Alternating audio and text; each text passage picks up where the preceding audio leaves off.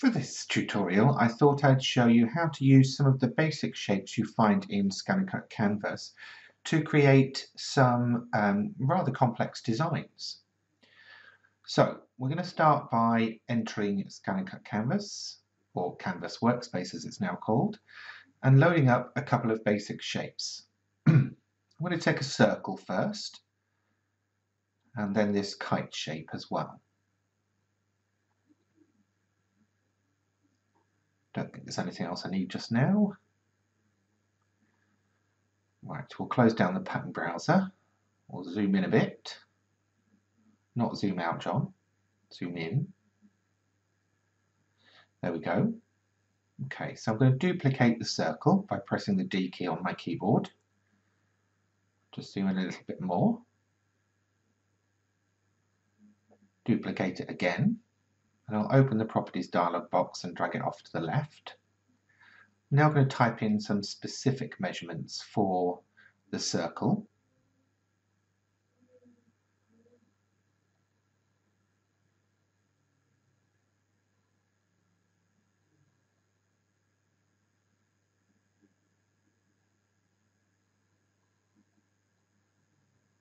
Okay, that's set my circle sizes. I'm now going to align them so they're perfectly on top of each other. And then I'm going to use the process overlap subtract function to give me um, a ring or a donut shape. I'm going to duplicate that one and drag it down so it's overlapping the first one. And then select both, align them vertically, and then weld them together. Select and duplicate that shape hold down my shift key and left click on the mouse and rotate it so it's 90 degrees and again align them and again weld them. So you can see very quickly I've got something quite complex just from a basic circle. Duplicating again and then rotating it 45 degrees and I'm just aligning at this stage just to see how that works. Now that's nice enough as it is, however I want to resize the second copy of that design.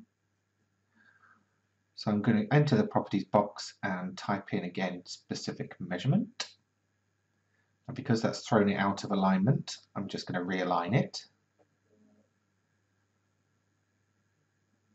Uh, yep, happy with that. So I'm going to weld that together.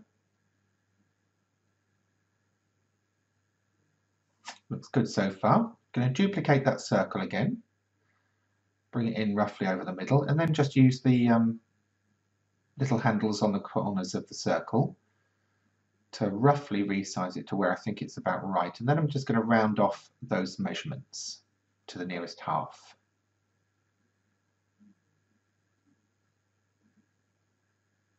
I'm going to duplicate that one and resize it.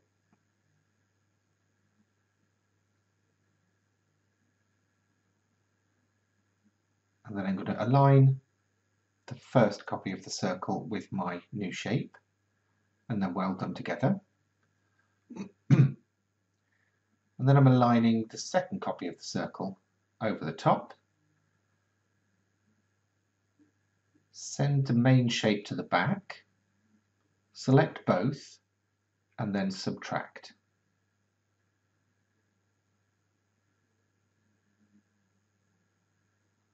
There we go, that's great so far. I'm going to enter the offset tool now though, and I'm going to change the offset to something quite small.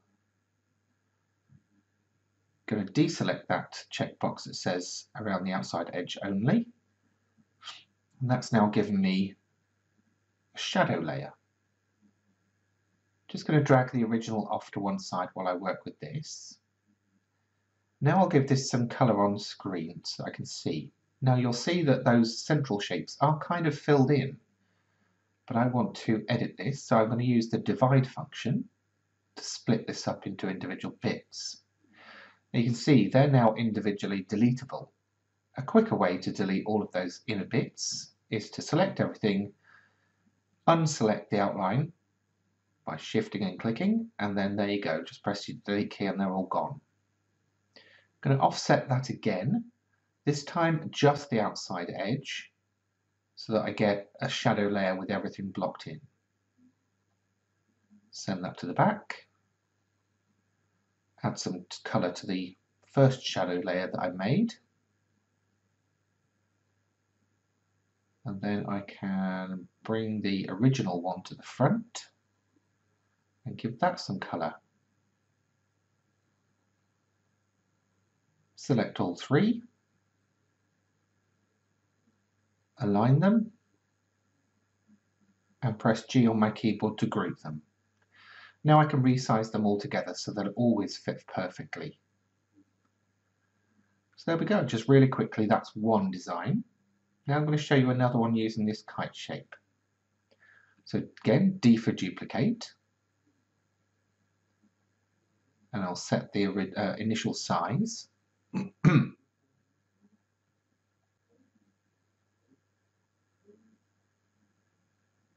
duplicate that one. Shift and click and rotate. Select both and align them. And weld them together. Duplicate that shape. Rotate. Align. And weld. There we go. So, got a nice little cross shape.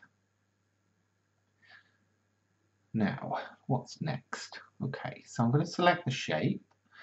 I'm going to use the offset tool to create um, an offset. I'll choose the bevel option this time because then the corners will be pretty much straight. I'll send that to the back because I want the smaller one on top when I use the subtract function duplicating the circle, roughly resizing it to fit over the center. Again, just rounding off the measurements. This is something that I do. You don't have to do this. You can just do it by eye if you prefer to. Then I'm aligning it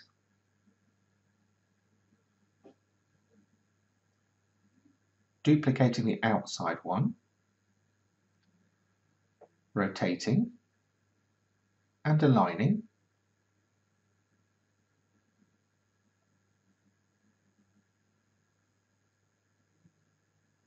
Mm, I'm going to make the first one a bit bigger as well actually.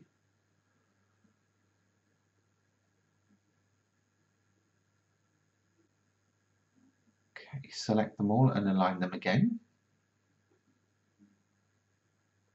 and I think I'm ready to weld. There we go. Now I've got some tiny little bits that won't cut well, so I'm going to go in and individually cut them out. So by double clicking on the shape, I enter the editing mode. A drag selection box and then using the minus tool will get rid of those very, very quickly for me.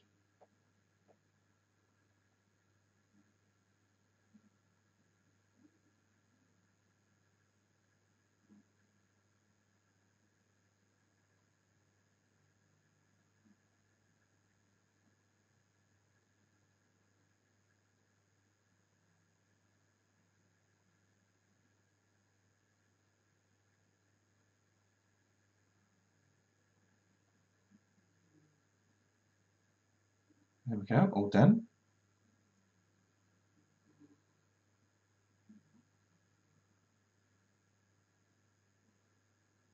Okay, looking good. I'm going to do an offset for this one. Again, a thinner outline, and I will do the inside bits as well. Okay. That looks okay, but I have noticed something. I zoom in all the way as close as I can get, you can see there's a little nooky nicky bit that's going to cause problems, might even actually risk snapping my blade. So I'm going to individually edit out those points again.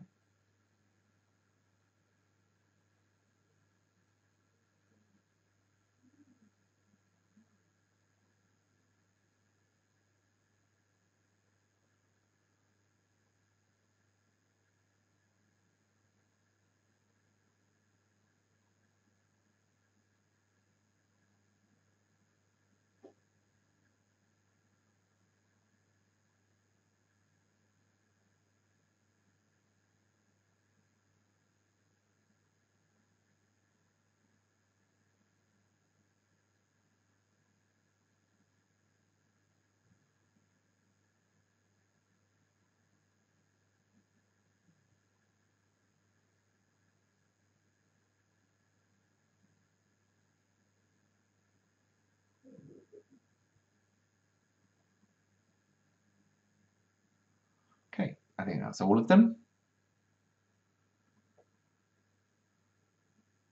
There we go, nice and tidy.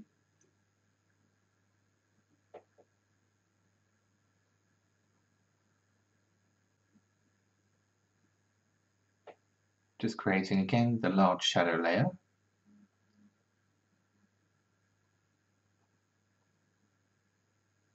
Giving it some colour. Now, you may have noticed that because I didn't do the thing before, where I subtracted, I've got all these extra shapes that have just turned up out of nowhere. So a very simple solution is just delete them.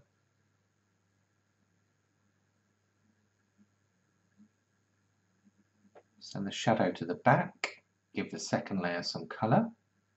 And again, because I haven't done my little trick of dividing and deleting, they're all still there.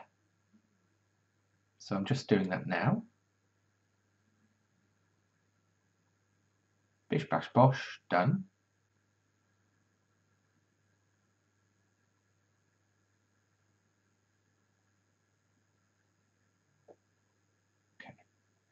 Just bringing the original um, first layer back on and giving it some colour. Almost done now, just aligning those three together before I group them with the G key on my keyboard. And now again I can resize that to be whatever I need it to be. And there you go, you can see some very creative shapes there just from using the very simple basic shapes.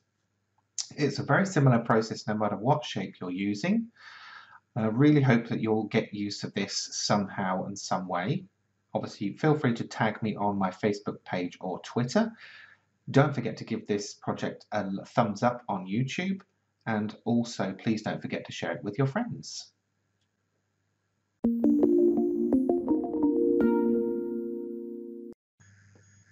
If you'd like to see more hints, tips and tutorials for the Brother ScanNCut or many other different types of arts and crafts, please don't forget to subscribe to this channel and check out the rest of my YouTube playlist. Again, thanks for watching. See you next time.